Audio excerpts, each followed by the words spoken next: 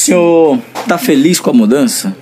Tô, não. Ou não? Não, tô bom, tô, tô feliz, ó. Tá, né, filho? É melhor- Mas ao mesmo tempo tá triste por tudo que aconteceu, né? É, é melhor lá do que aqui, porque aqui não, eu não posso fazer nada. Eu olho essas coisas assim.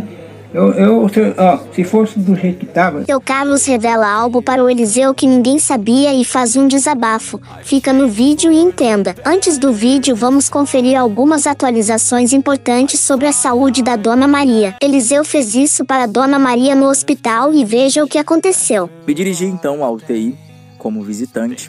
Não pode ficar acompanhante ainda, a não ser que ela saia e vá para outra ala e dependa menos, por exemplo, de oxigênio, e dependa menos de acompanhamento e por aí vai. Na UTI, ela já estava acordada. Quando eu entrei na sala, vou até ilustrar aqui para vocês, tá bom? Para ficar mais fácil, para que vocês é, tenham no coração a sensação de que a gente realmente está vencendo. Quando eu entrei na sala, ela já me olhou. Era o primeiro leito na entrada. E aí eu fui chegando, todo de máscara, todo protegido, de boné na cabeça. Falei assim pra ela: A senhora tá me reconhecendo? Sabe quem sou eu? E ela pegou e disse: Sei. Eu falei: Quem é? E ela disse: O Eliseu. Eu fiquei muito feliz, gente. Eu fiquei super feliz por ela ter me reconhecido. E começamos a conversar sobre diversos assuntos.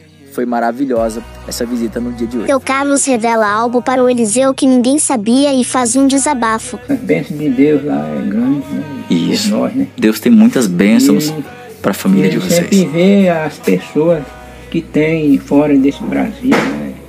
Isso. Muitas pessoas que reconhecem, né? É Isso. pessoa boa, né? Pessoa que Exatamente. reconhece e sabe o, o meio do sofrimento da, da unidade da- das pessoas. Pois é que não é todo, né? Alguns já têm cabimento de, de fornecer as coisas.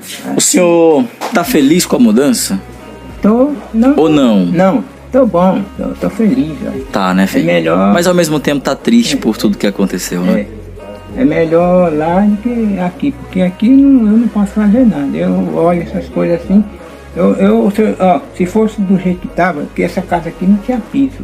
Eu Certo. que, eu que fiz, né? Eu senhor que botou esses tijolos eu que aqui. Fiz isso aqui reforçado, mas afundou. Certo. Porque o aterro que eles botaram é tudo, é tudo aquela, a- a- aquele lixo. É, não foi feito um, Tem- um aterro de Que qualidade. tem litro, que tem sacola, que tem plástico. Foi um aterro com lixo, né? É, aí eles fizeram essa casa mais apressada aí, que é para dizer para segurar o terreno, né? Certo. Mas aí não é uma casa suficiente para a gente viver o, resto, o resto da vida aqui nela, porque uma hora ela pode, como ela cedeu, né? Aham. né? Aí a gente tá aqui morando nela porque mesmo que não tem um jeito de morar. Mas vamos embora. Agora acabou. É, Acabou esse sofrimento, acabou essa dificuldade. Agora é vida nova. É. Tá bom? Deus abençoe, vai dar tudo certo. Nesse dia eu creio que seu Carlos reviveu toda a história que eles passaram nesse sítio. A situação da mudança e do estado que a Dona Maria se encontra deve ser bastante desafiador para ele ainda mais com essa idade. Vamos torcer para que a Dona Maria se recupere logo e que possa estar junto do seu Carlos esperando ansiosamente a casa nova deles. Espero que você tenha gostado do vídeo e até a próxima. Beijos!